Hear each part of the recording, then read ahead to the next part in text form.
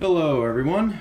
Well I've had a few requests to do another video of this vacuum here. This is my Royal Classic Edition, model 9089. It says on the bag there it's from 1989. Made a few videos of this vacuum in the past, but it's been a while, so figured I'd uh, show it to you again.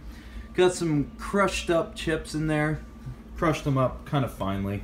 Don't really have any fine powders or sand or anything like that to uh, demonstrate the deep cleaning ability.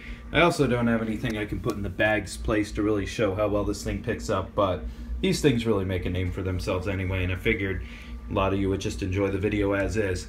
I'm also going to kind of take this opportunity to explain to you all uh, why height adjustment is important on a vacuum cleaner.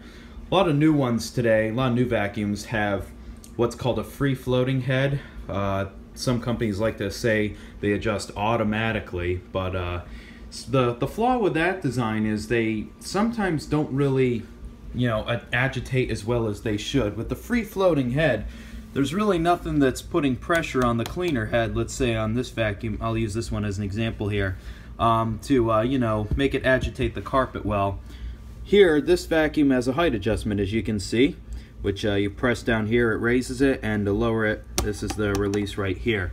Um, so the way it works on these Royals and the way it works on Kirby's as well is the what you're supposed to do is you're supposed to have it raised all the way up and then you turn the vacuum on and then you lower it a little bit at a time until you hear the motor tone change and then people say on Kirby's uh, one more the uh, at least you're, if you're using the test the tech drive on this vacuum, you see has the adjusto right, which sucks in just like that and lets you know you're at the right adjustment.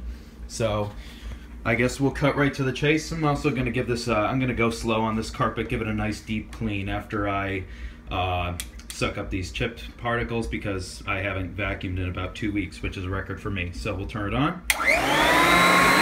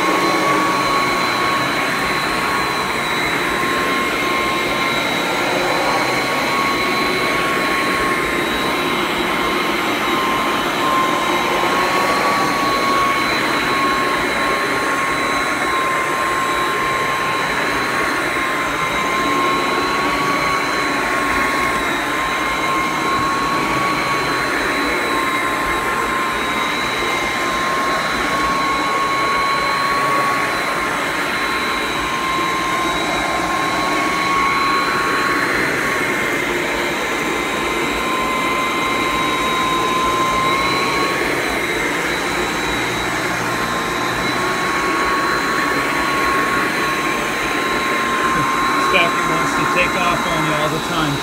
Flip this cord over.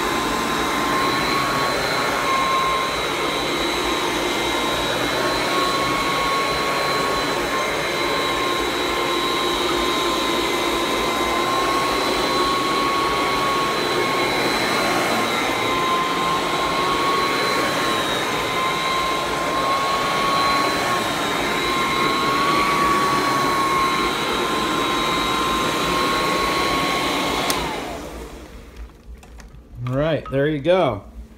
There's a little video for you of the Royal vacuuming.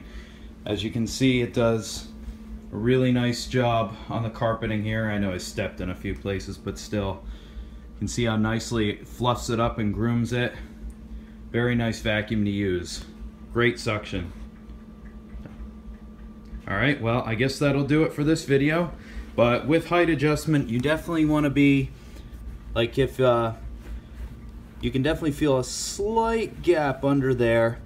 Um, just just a tiny little bit so that it's not totally pressed down against the carpet so that um, you know there it still can it has good airflow but you want to make sure there's good contact with the roller brush now if you put it down too far you're going to be burying the roller brush and you're going to burn through belts a lot faster than you otherwise would be. Also, you're going to restrict the airflow and it's not going to pick up as well. You need a good combination of both airflow and agitation in order for these direct air machines to work uh, at max performance. So just keep that in mind with height adjustment. But as you can see, it did a really nice job on this carpet here. Thanks for watching.